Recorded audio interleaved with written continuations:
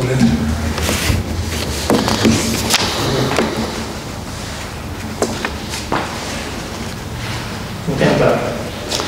Stimați reprezentanți ai mass media, mai întâi de toate vreau să vă mulțumesc mult că ați dat curs invitației noastre de a participa la acest uh, briefing. După cum uh, cunoașteți, un grup de deputați din Partidul PAS și PPDA a înaintat o moțiune simplă Ministerului de Interne și astăzi, la orele 10.00, Ministrul de Interne împreună cu secretarii de stat urma să se prezinte cu un raport detaliat pe rezultatele activității subdiviziunilor Ministerului Afacerilor Interne și un raport în special pe segmentul uh, zonei de securitate, precum și să răspundem la careva întrebări. Uh, raportul uh, de bază este unul voluminos. Noi o să-l plasăm pe pagina oficială a Ministerului de Interne, iar unele subiecte care se regăsesc și în acel raport o să le discutăm astăzi. Stimați reprezentanții ai mass media. Sunt onorat să mă aflu astăzi în fața dumneavoastră și să vă mulțumesc pentru posibilitatea oferită de a informa societatea din prima sursă despre rezultatele Ministerului Afacerilor Interne pe parcursul mandatului meu de aflare în funcție. Informațiile ce urmează a fi urma a fi prezentată în plenul Parlamentului pe moțiunea simplă asupra activității Ministerului Afacerilor Interne.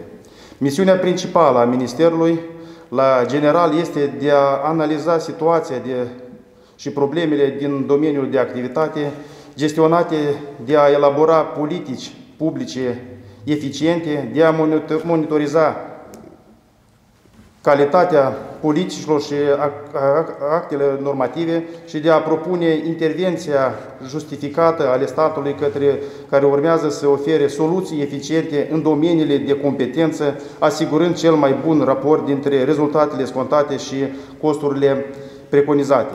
Într-o realizare acestui obiectiv ne-am condus și ne conducem strict de prevederile Constituției Republicii Moldova, cadrul național legislativ și de actele normative ordonanțele, hotărârile și dispozițiile Guvernului și, în ultimul rând, de prevederile acordurilor și tratatelor internaționale la care Republica Moldova este parte.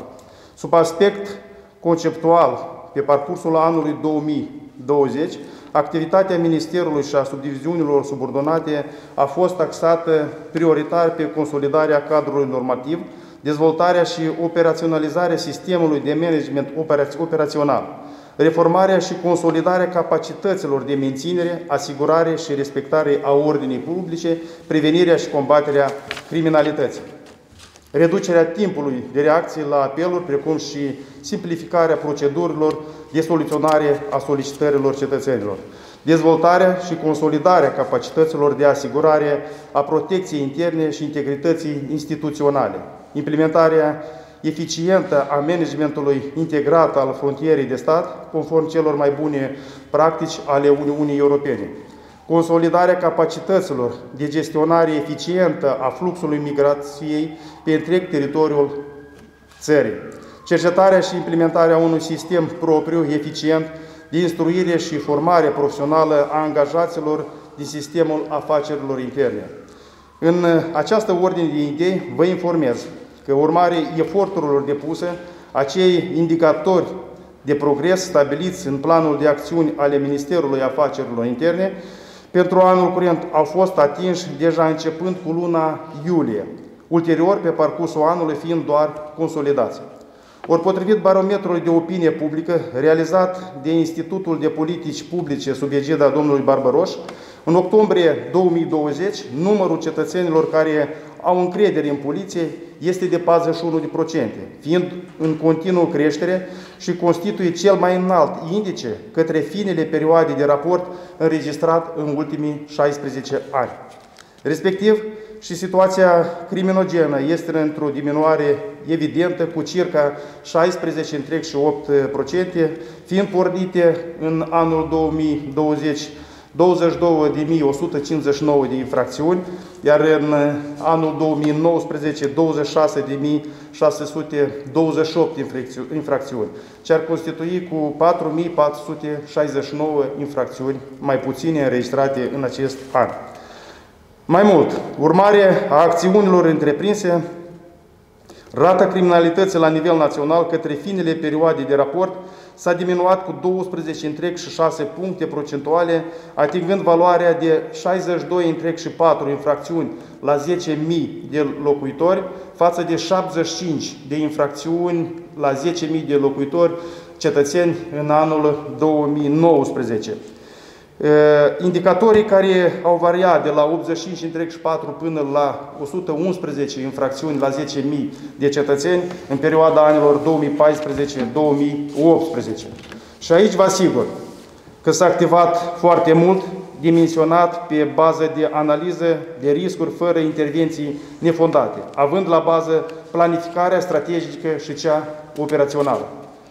În particular menționez că în raport cu perioada analogică a anului precedent am înregistrat o diminuare substanțială pentru toate categoriile de infracțiuni, inclusiv excepțional de grave, cu 27,5 procente, ori 132 de infracțiuni excepțional de grave au fost înregistrate în anul curent și 182 infracțiuni în anul precedent. Deosebit de grave, cu 28,2% diminuare, 339 infracțiuni registrate anul curent și 556 anul precedent. Grave, cu minus 10%, mai puțin grave, cu 23%. De asemenea, am înregistrat o diminuare a majorității genurilor de infracțiuni, ajungând la o reducere de la 8 întreg și 4 până la 60%, inclusiv omoruri, vătămări intenționate grave, violuri, tâlhării, jafuri, furturi, huliganism, excrocherii și altele. În același timp, am reușit să diminuăm cu 26 întreg și 52 rata criminalității în locurile publice sau cu 1909 infracțiuni mai puține. Diminuarea infracționalității se datorează și activităților de prevenție realizate de către subdiviziunile Ministerului Afacerilor Interne prin intermediul numeroaselor campanii de sensibilizare și informare, inclusiv familiarizarea a cetățenilor cu măsurile de protecție, precum și informarea privind amenințările la adresa valorilor sociale ocrotite de lege. În acest sens, în perioada anului curent, angajații Ministerului Afacerilor Interne au desfășurat 51 campanii de informare, 12.765 activități de sensibilizare a populației, 5.887 întrunit cu cetățenii. Concomitent, au fost desfășurate 8.550 razi de prevenire a fenomenului infracțional, în cadrul cărora au fost inspectate 33.600 obiective. În scopul prevenirii și combaterii fenomenului infracțional, precum și asigurării securității traficului rutier, de către subdiviziunile Ministerului de Interne au fost inițiate și desfășurate multiple operațiuni de prevenire la nivel național și regional. De altfel, în acest an am înregistrat și o diminuare cu 23 întreg și 37% a accidentelor rutiere. În anul curent au fost înregistrate 1797 accidente rutiere, iar în anul 2019 2345, cu 548 accidente rutiere mai puține. Ă, persoane decedate în urma accidentelor rutiere avem cu 27 de persoane mai puține, fiind sau a decedat în acest an în urma accidentelor rutiere 218 persoane, iar în 2019 245 persoane.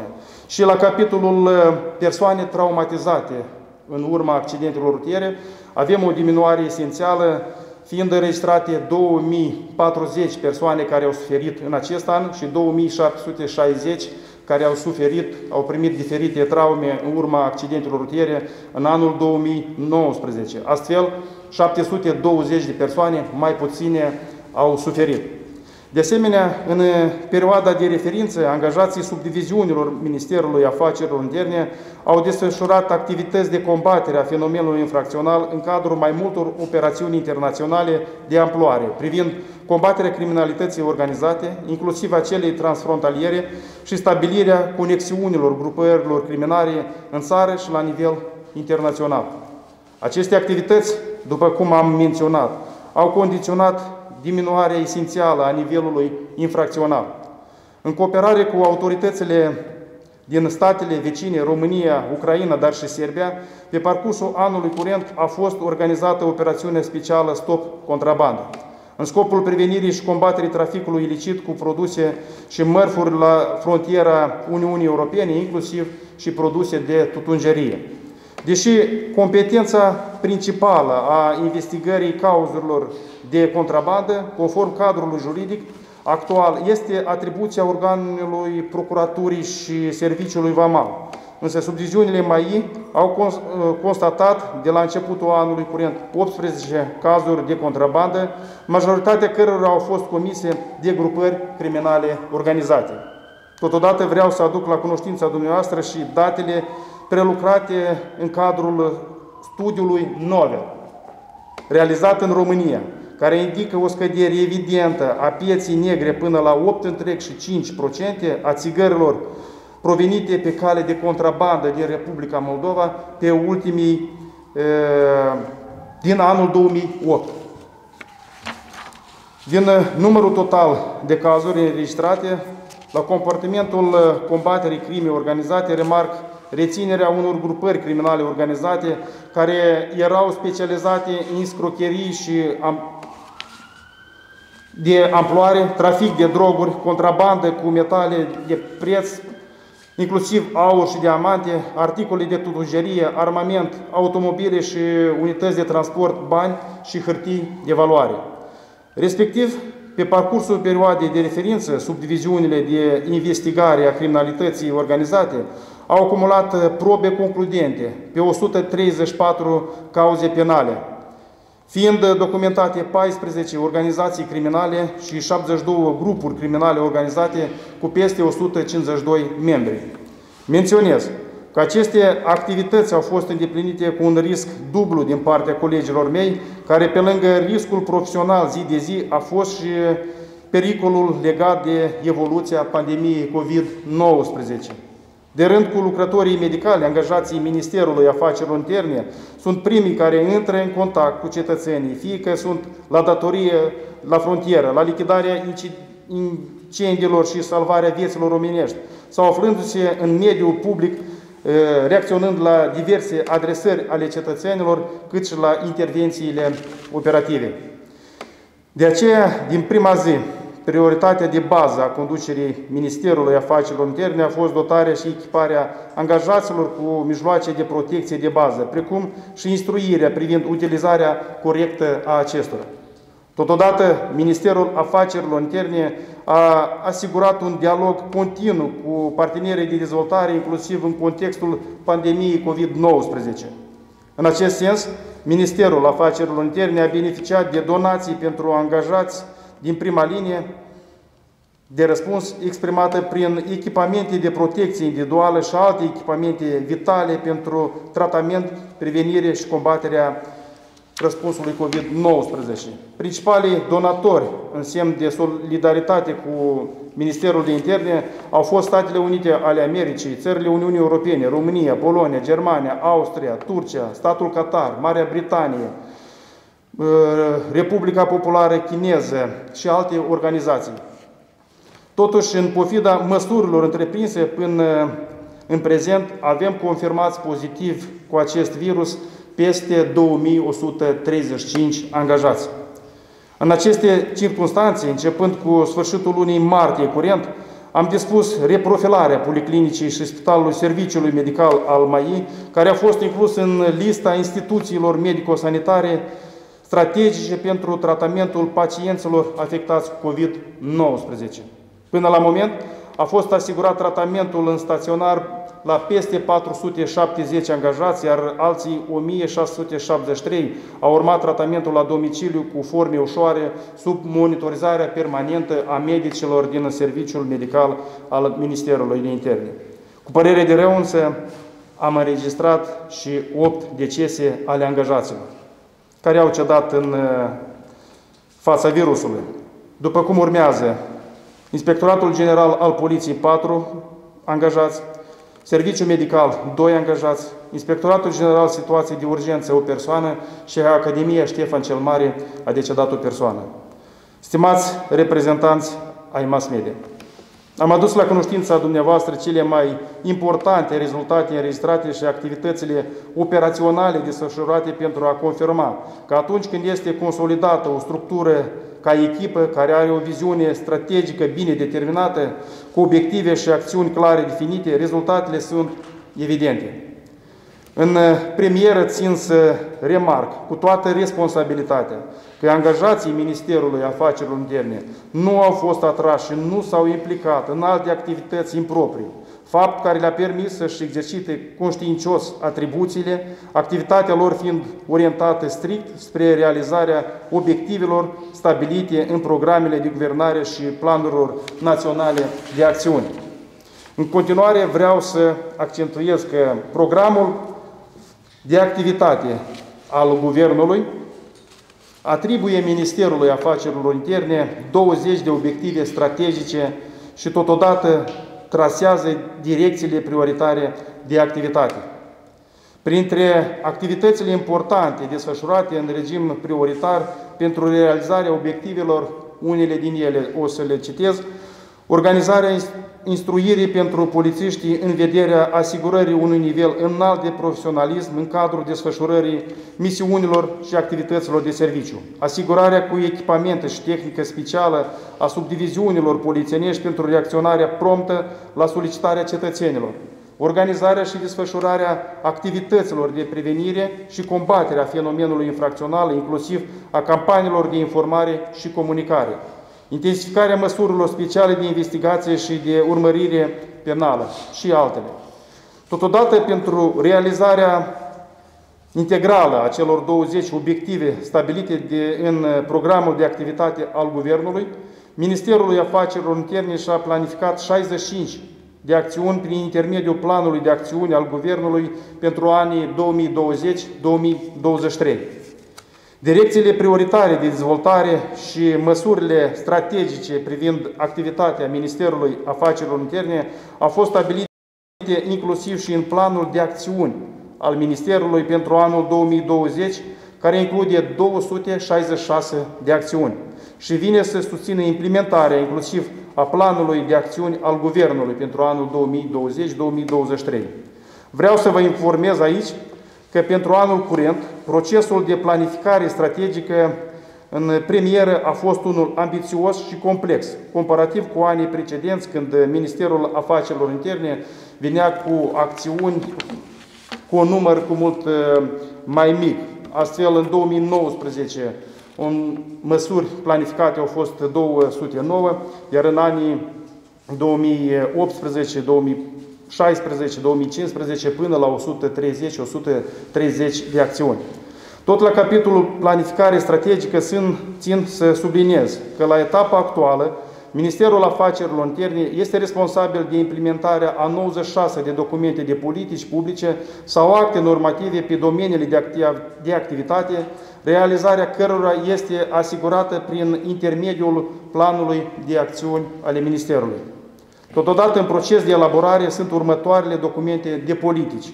Elaborarea și aprobarea programului de dezvoltare a Inspectoratului General de Carabinieri pentru perioada anilor 2021-2024.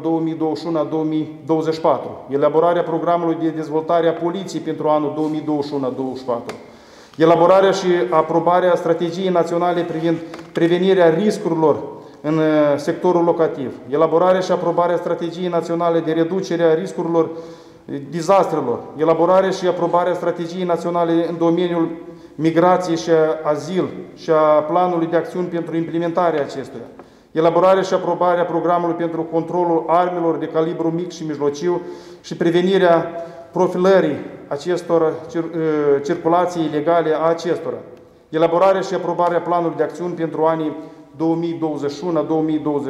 privind implementarea strategiei naționale de management integrat al frontierei de stat. Un alt capitol important pe care vreau să-l aduc atenției dumneavoastră îl constituie prevenirea și combaterea corupției, care în permanent a fost pe agenda instituției și totodată ca misiune primordială a Ministerului de Interne. În acest sens, se desfășoară sistematic acțiuni cu actorii implicați în acest fenomen, atât persoanele civile cât și funcționarii cu statut special.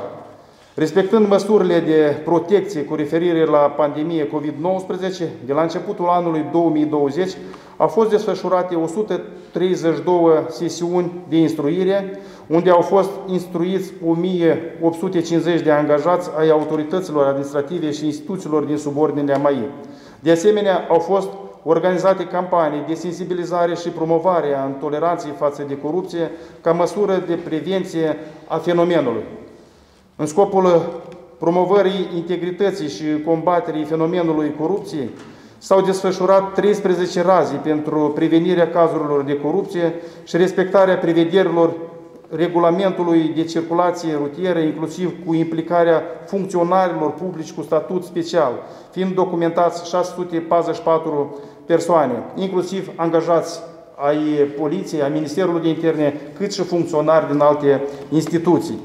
În aceeași ordine de idei, în scopul prevenirii și combaterii corupției, în rândul angajaților mai au fost instituită și funcționarea liniei specializate uh, anticorupție 1520. De la începutul anului, la linia specializată anticorupție 1520 au parvenit în total 182 de apeluri, dintre care 22 apeluri au fost de denunț al actelor de corupție documentate de către SPIA. Cu referire la cazurile de corupție în privința angajaților MAI, în perioada mandatului meu în calitate de ministru au fost documentate 61 cauze penale în conformitate cu prevederile articolului 324 Cod Penal al Republicii Moldova, corupție pasivă, atunci când funcționarul a primit mijloace financiare. În uh, anul 2019 au fost uh, demascați doar 35, 35 cazuri aproape cu 50% mai mult. Este de remarcat că avem și 135 de cazuri de corupere activă, conform articolul 325 Cod Penal al Republicii Moldova, atunci când funcționarul mai a denunțat promisiunea, oferirea sau darea mijloacelor financiare. Repet, 135 înregistrate în acest an și 44 cazuri înregistrate în anul 2019. Cu alte cuvinte, de trei ori mai multe cazuri. 19 cauze penale pe trafic de influență, 9 cauze penale abuz de putere. În an, acest an avem înregistrate mai puține cazuri de abuz de putere, fiind anul precedent 26 la număr, iar în acest an, cum am menționat, 9 cazuri. De menționat este faptul că numărul de cazuri denunțate de către funcționarii publici, în speță cazurile de corupere activă, sunt în continuare creștere, ceea ce reflectă responsabilizarea funcționarului cu statut special și totodată existența provocărilor la astfel de ilegalități care parvin din partea societății.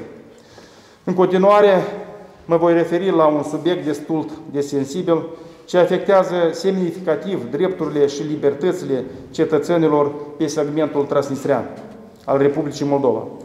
Este cunoscut faptul că regiunea transnistreană a Republicii Moldova, din momentul semnării acordului privind principiile de reglementare pașnică a conflictului armat de pe Nistru, în anul 1992, a reprezentat un permanență, un factor de instabilitate și un generator al provocărilor în adresa securității statului. O amenințare continuă, inclusiv din perspectiva asigurării respectării drepturilor omului în această regiune.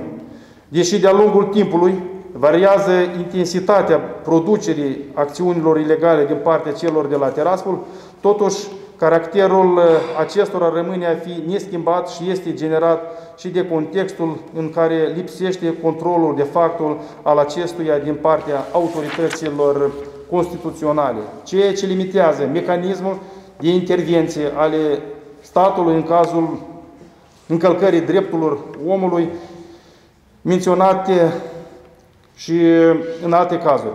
Având în vedere specificul procesului reglementării conflictului transnistrean, regimul de activitate al poliției este ajustat contextual, general și de desfășurarea în strictă conformitate cu actele normative în vigoare. Din momentul semnării acordului din anul 1992, Activitatea poliției în zona de securitate se desfășoară în concordanță cu deciziile și instrucțiunile aprobate în cadrul Comisiei Unificate de Control. Este de remarcat că Comisia Unificată de Control este responsabilă de realizarea prevederilor acestui acord și care are menirea să contribuie la reglementarea pașnică și doar pe cale politică a problemei transnistrene. Pe tot parcursul activității, Comisia Unificată de Control, Ministrul, Ministerul Afacerilor Interne a avut reprezentanții săi în cadrul delegației Republicii Moldova la nivel de membri și experți, care s-au dedicat cu maximă implicare în soluționarea problemelor abordate privind asigurarea drepturilor fundamentale ale cetățenilor, în special a liberii circulații între ambele maluri ale Nistrului, precum și eficientizarea mecanismului de monitorizare a situației din zona de securitate.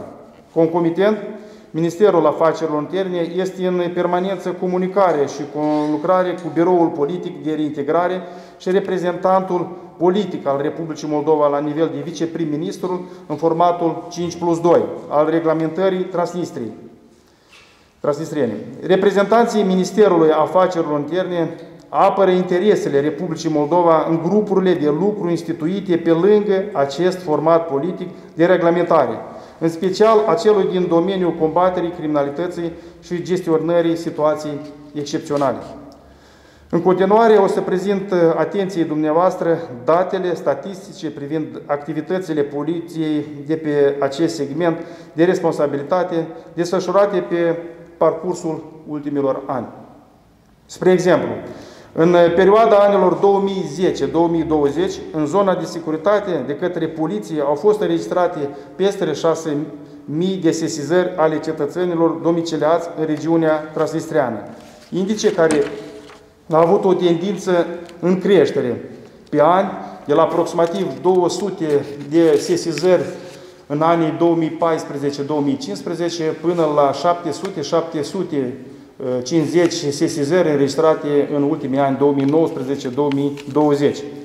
Din numărul indicat, 283 sesizări reclamă abuzurile administrației autoproclamate manifestate prin refuzul de înstrăinare a proprietăților, pretinsă cercetare pe fapte imputate ilegal conform așa numitului cod penal din regiune, deposedare de proprietăți, reținerea sau condamnare ilegală, îngrădirea dreptului la libera exprimare, nerespectarea drepturilor omului, răpiri de persoane și șantaj altele. În acest context, se înscriu și 94 cazuri sesizări privind îngrădirea accesului cetățenilor prin îngrădirea în puncte de control a accesului către proprietăți sau uh, trans, tranzitării regiunii și alte 78 cazuri privind abuzurile sau samovolnicie admise de către structurile neconstituționale de intimidare a instituțiilor aflate în subordinea autorităților Republicii Moldova prin citarea angajaților a instituțiilor publice, blocarea deplasării sau reținerea funcționarilor în timpul exercitării atribuțiilor de serviciu, blocarea accesului în instituțiile publice al Republicii Moldova, dislocate în stânga Nistrului. Totodată consider necesar să menționez că în perioada anilor 2010-2020 au fost înregistrate la poliție 81 cazuri cu referire la reținerile ilegale sau acțiuni de anchetă întreprinse de către așa numitul organ de drept din stânga Nistrului, admise în zona de securitate în privința cetățenilor și reprezentanților autorităților constituționale ale Republicii Moldova. Ca rezultat, la examinării, a examinării sesizărilor, în perioada ultimilor 10 ani, de către organele urmăririi penale ale Ministerului Afacerilor Interne, au fost pornite și sunt instrumentate sub conducerea nemijlocită a procurorilor 39 de cauze penale în privința a mai multor persoane reprezentanți ai structurilor neconstituționale din diverse nivel din stânga Nistrului. Astfel, altele 15 cauze penale pornite de către organul de urmărire penale ale poliției au fost retrase în gestiunea Procuraturii Generale. Un subiect distinct îl reprezintă și faptul că în perioada 16 martie-19 mai curent, sub pretextul combaterii pandemiei COVID-19, Tiraspolul a decis unilateral de a institui în adiacentul localităților aflate sub jurisdicția autorităților constituționale a Republicii Moldova, 37 de posturi cu personal antrenat în cadrul așa zisului serviciu grăniceresc transnistrian. Alte îngrădiri improvizate și baraje a căilor de acces. Astfel, fiind restricționat ilegal dreptul fundamental al cetățenilor privind libera circulație în zona de securitate. Respectiv, Ministerul Afacerilor Interne, prin intermediul delegațiilor Republicii Moldova, a insistat ca subiectul acestor acțiuni ilegale ale Tiraspolului să fie abordate în cadrul Comisiei Unificate de Control. Suplimentar, am fost în contact permanent cu Biroul Politic Reintegrare și în special cu viceprim-ministrul uh, pentru reintegrare, fiind atrași în soluționarea problemei și cauza mecanismului uh, OSCE și mediatorii internaționali din uh, formatul de negocieri 5 plus 2. Ca rezultat, către 21 iulie anul curent, Tiraspolul a eliminat 15 posturi din cele instalate ilegal în zona de securitate și au retras așa numiții grăniceri de la posturi. Altele 12 posturi au fost uh, retrase în perioada lunilor iulie-septembrie. În prezent, au rămas uh, funcționale 10 posturi ilegale. Concomitent, de către Inspectoratul de Poliție, către care își desfășoară activitatea în zona de securitate, au fost înregistrate și inițiate 18 proceduri privind activitatea ilegală a acestor posturi. Iar ca urmare a abuzurilor admise în aceste posturi, au fost inițiate trei procese penale conform prevederilor articolului 166 și 352 Cod Penal.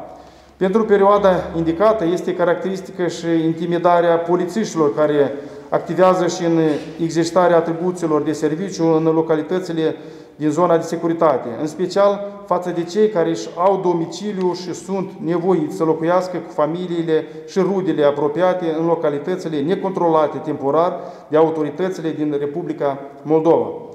Față de ei, fiind aplicate așa metode precum stabilirea de tarife comunale diferențiate, interzicerea înstrăinării bunurilor deținute pe teritoriul controlat de administrația neconstituțională, citarea la așa numitul organ de forță, inițierea urmăririi penale, dar și mai grav, reținerea acestora. În contextul celor expuse, consider necesar să vă informez că în perioada anilor 1995-2020, de către structurile de forță neconstituționale din stânga Nistrului, sub diverse pretexte, au fost reținuți și arestați pe unele cazuri 20 de polițiști. Astăzi toți din ei sunt uh, eliberați. Ultimul caz înregistrat este cel al uh, polițistului din cadrul Inspectoratului de Poliție Florești, Andrei Amarfi. A fost un caz mediatizat și o să aduc la cunoștință că odată Imediat după parvenirea informației de la soția polițistului, pe faptul răpirii ofițerului principal al Serviciului Interacțiuni Comunitare al Secției Securitate Publică a Inspectoratului Fălești, Andreea Marfi, uh, și uzurparea de calitate oficială de către Procuratura Raionului Florești, a fost începută urmărirea penală conform elementelor infracțiunilor prevăzute de articolul 164 alineatul 2 și 351. În urma măsurilor întreprinse de către serviciile abilitate ale MAI, în colucrare cu colegii de la SIS, s-a stabilit că pe parcursul aceleiași zile, acțiuni ilegale similare din partea structurilor de forțe tiraspolene au fost întreprinse și în privința altor trei persoane. Toți cu viza de reședință și ca, din uh, orașul Camenca și localitățile din uh, raionul Camenca pe partea stângă a, raionului, a râului Nistru.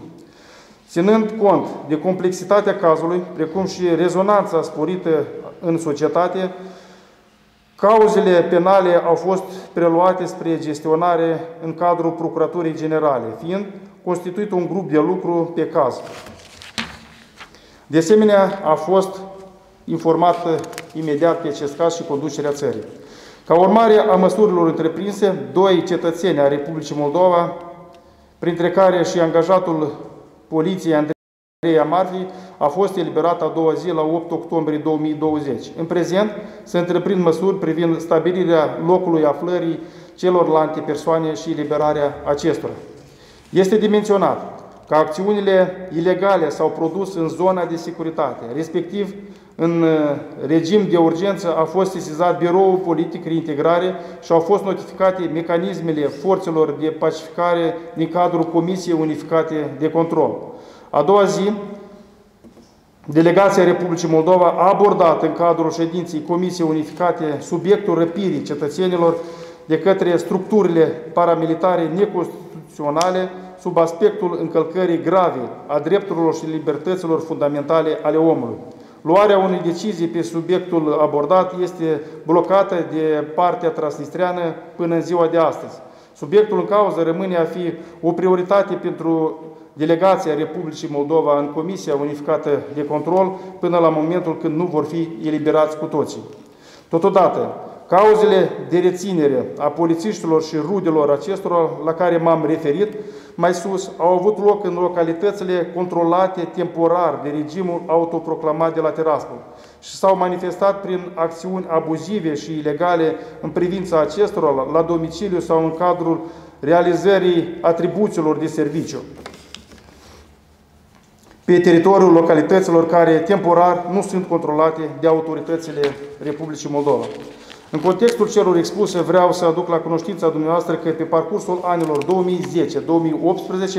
au fost înregistrate și 8 cazuri în care așa numitele structuri de forțe din stânga Nistrului au realizat operațiuni ilegale de reținere a cetățenilor moldoveni în localitățile aflate sub controlul autorităților constituționale din afara zonei de securitate, pe teritoriul raioanelor Fălești, Cimișlia, Drochea, Aninoi, Hâncești și Șoldănești. Consider necesar să remarc că în perioada anilor 2019-2020 astfel de cazuri nu au fost înregistrate pe teritoriul controlat de autoritățile Republicii Moldova. Cu referire la subiectul abordat în uh, moțiunea, de, moțiunea simplă privind instituirea, instruirea polițiștilor și măsurile de protejare a acestora în zona de securitate, țin să vă informez că a fost emis și în prezent este pus în aplicare Ordinul Inspectoratului General al Poliției numărul 389 cu privire la aprobarea de proceduri operaționale privind modul de acțiune al polițiștilor în situații cu implicarea administrației neconstituționale transnistrene.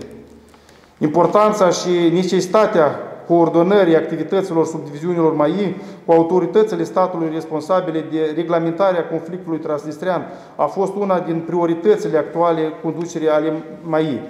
Prin ordinul Ministerului de Interne la 9, numărul 9 din 10 ianuarie 2020 a fost desemnat un responsabil la nivel de, de secretar de stat de dirijarea activităților autorităților administrative din subordinea MAI în funcție de specificul zonei de securitate.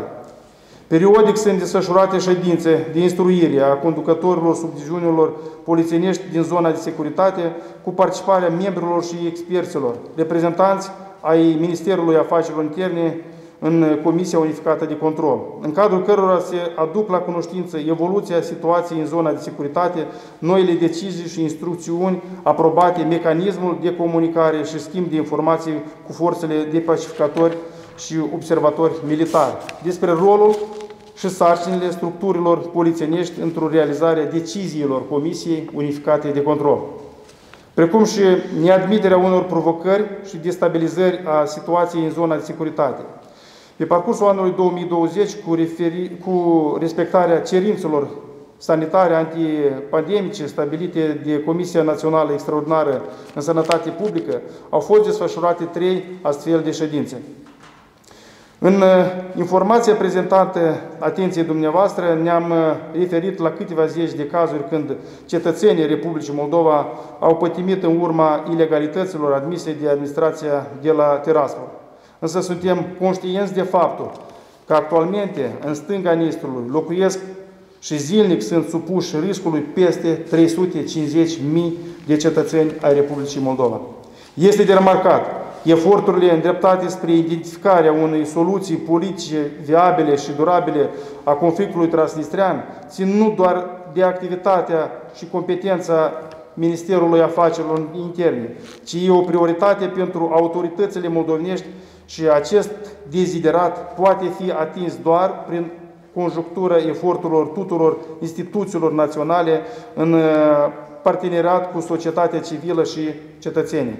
Doar prin acțiuni comune vom reuși să prevenim și să contracarăm acele ilegalități, incidente sau provocări care au loc în zona de securitate și regiunea transnistreană ca urmare a perpetuării conflictului.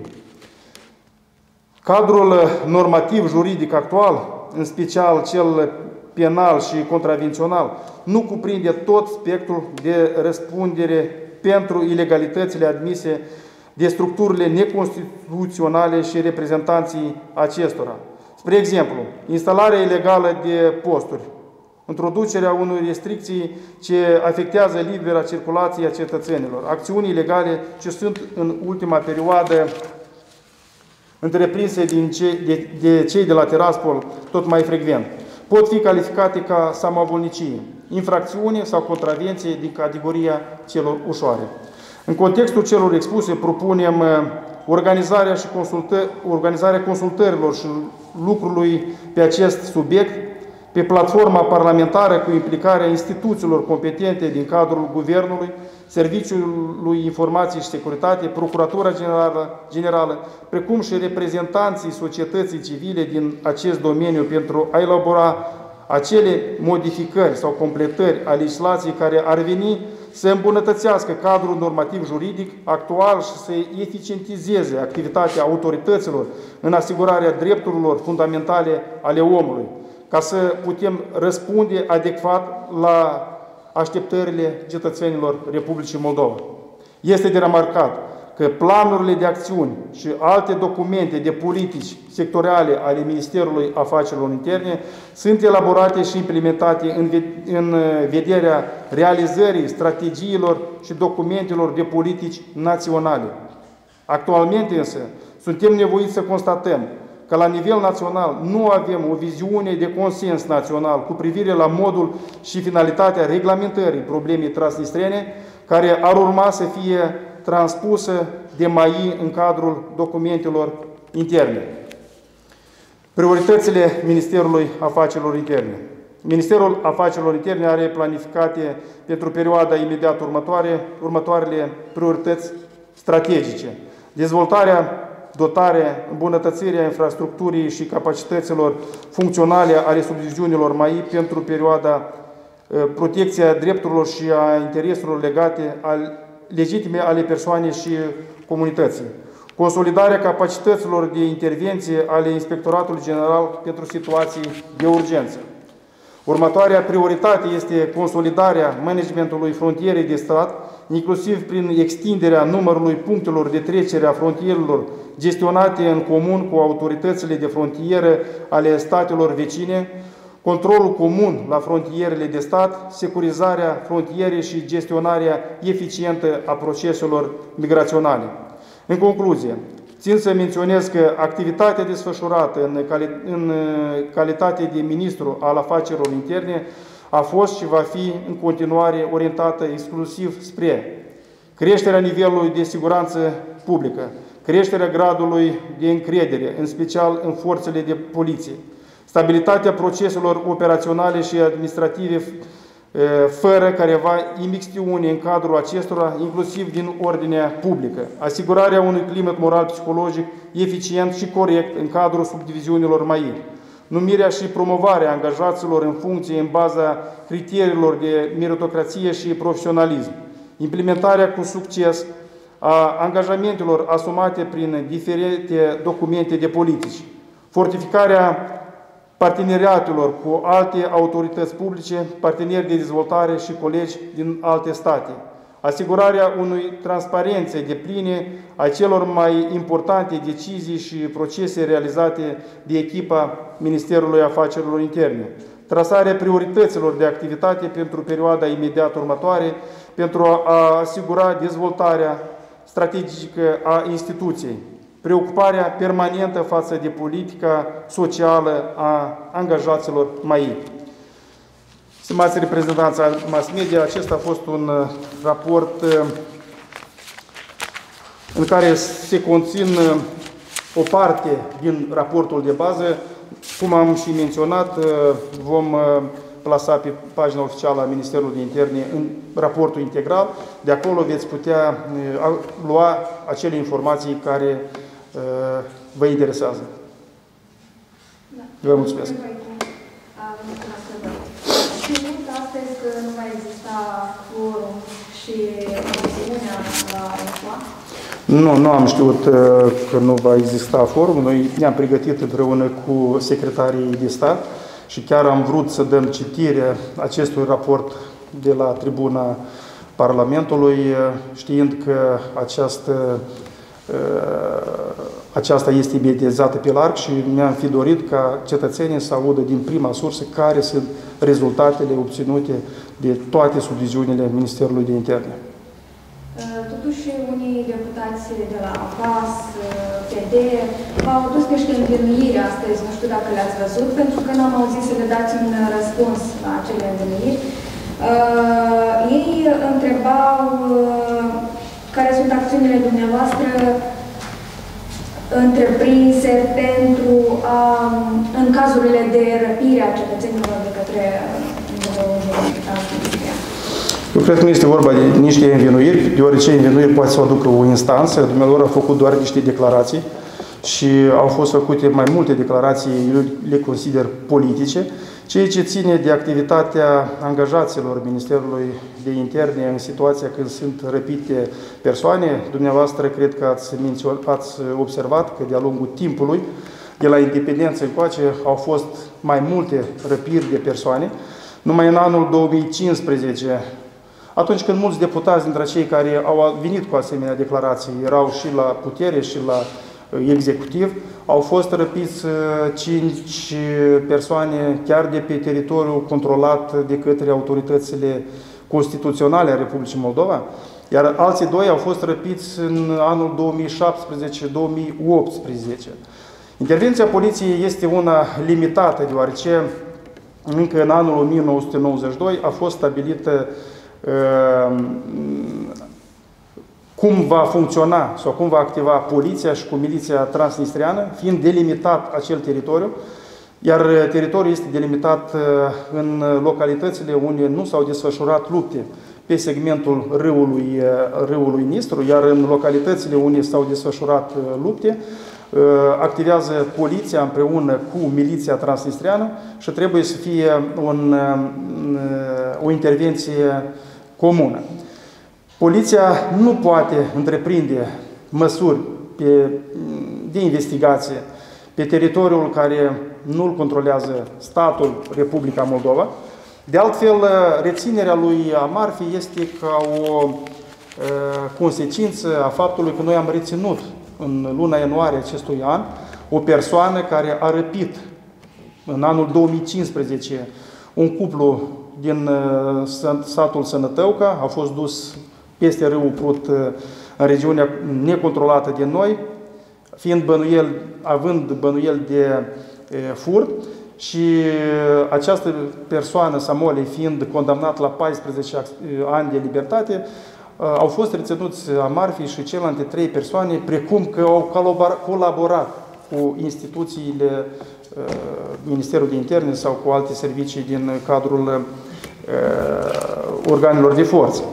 Noi de fiecare dată activăm în, uh, cu raport cu Comisia Unificată de Control prin intermediul Biroului de Integrare, iar aceste probleme care apar sunt discutate pe larg, apoi uh, noi pe fiecare caz, în afară de aceasta, pornim dosare penale, uh, cei care se fac vinoveți sunt anunțați în căutare, în cazul răpirii polițistului Amarfe sunt identificați autorii uh, acestei răpiri.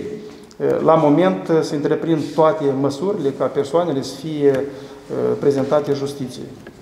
Aceiași deputați v-au acuzat astăzi de implicare în campanie, în campania electorală. Igor Grosu spunea, dar declarațiile lui au fost ulterior vociferate, adică cam aceleași declarații și de deputatul Jizdan. Aceștia spuneau că dumneavoastră, dumneavoastră ați fi permis intrarea în țară a uh, lui Gheorghe Orlov, uh, care ar fi făcut presiune în favoarea unui candidat electoral. Întrebarea este după care acest orlov a ieșit din țara noastră și a fost reținut de autoritățile din Ucraina. Întrebarea este cum a putut acest criminal să intre la noi în țară, după care să iasă și să nu fie reținut de autoritățile noastre, dar să fie reținut de autoritățile din Ucraina. Această persoană, Nazaruc, având familia, dar și familia Orlov, a intrat în țară cu familia Orlov, iar în baza de date care este la Poliția din Frontieră, nu a figurat că este anunțat în căutare. Ori noi la moment avem în căutare 11.560 persoane, dintre care am reținut 3.257 persoane. Din momentul uh, când uh, a fost stabilit că această persoană este Orlov, de fapt este Nazaruc, aflat în căutare pentru șantaj, eu am dispus uh, poliției să întreprindă toate măsurile necesare pentru localizarea și reținerea acestei persoane. În urma măsurilor uh, deja desfășurate, persoana a reușit să plece, să iasă din țară, iar noi, prin intermediul serviciului SPIA, în colaborare cu colegii noștri din Ucraina, prezentându-le informații, deoarece am știut și locul aflării unde se află această persoană, împreună am reținut uh, acest infractor și care va fi adus în Republica Moldova și oferit justiție. Eu nu știu de ce au făcut uh, asemenea declarații, că a venit special și uh, anume îi interesează un singur infractor. Noi avem mai mulți infractori în căutare și cred că domnul Juzdan știe că căutăm, căutăm și pe domnul Plahătniuc și pe Șor și pe mai mulți. Deci nu a fost un caz individual, deci a fost uh, întreprinse toate măsurile, cum se întreprind și pe uh, în privința la toți căutații uh, și o să vă convingeți că o să fie, o să fie adus în fața instanței. Dar cum ați aflat că, este, că se află pe teritoriul țării noastre? Eu spun că noi am, între, noi am început să întreprindem măsuri de investigație din momentul când am stabilit că este în căutare. Acestea sunt uh, măsuri de investigație polițienești.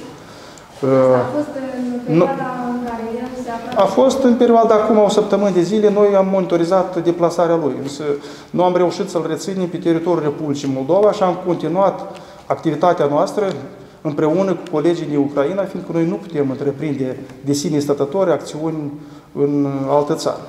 Deci a fost reținut cu suportul nostru. În special a, a lucrat SPIA pe acest caz. По линии Интерпола, когда появляется дело лица в Интерполе, не появляется уведомление о том, что у него есть второе гражданство? Молдавские правоохранительные органы не знали о том, что он также обладает гражданством России?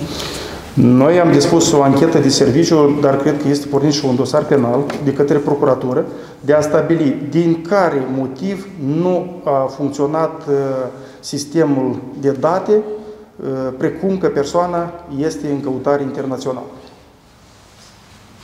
Și dacă va fi găsit cineva vinovat, o să fie atras la răspundere. Poate fi o coincidență, dar noi o să mergem mai departe să nu fie intenționat.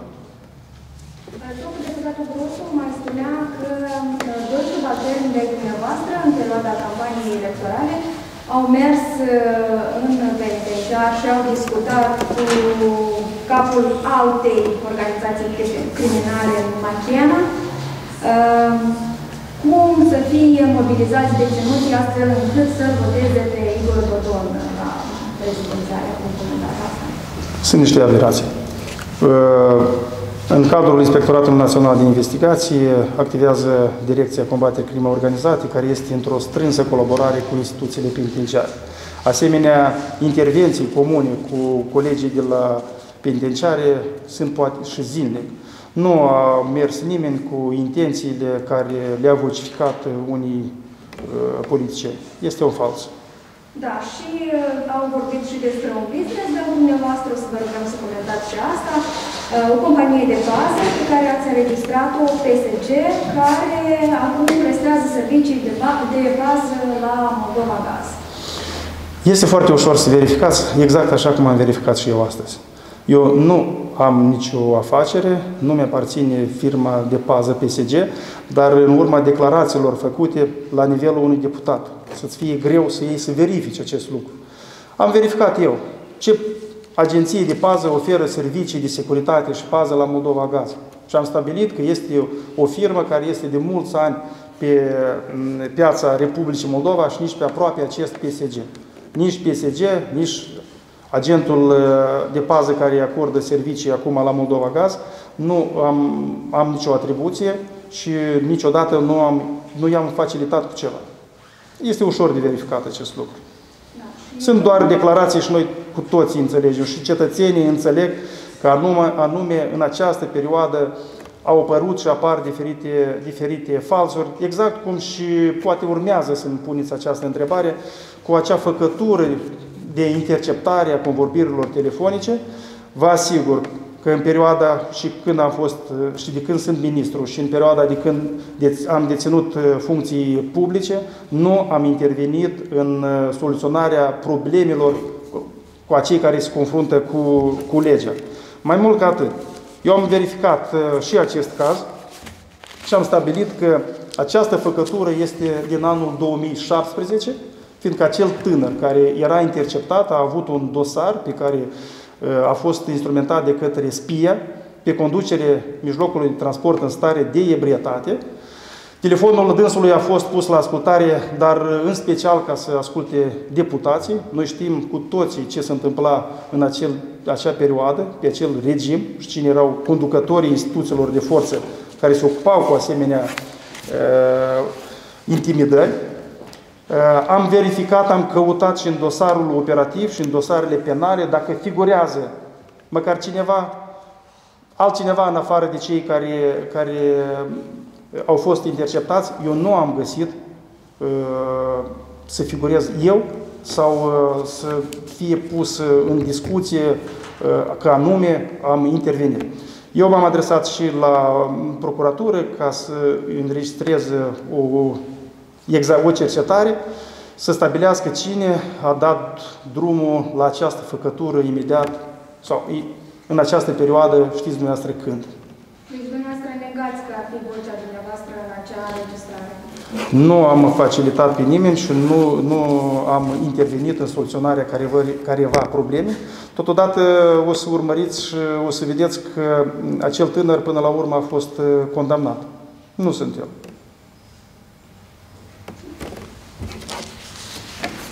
Vă mulțumesc!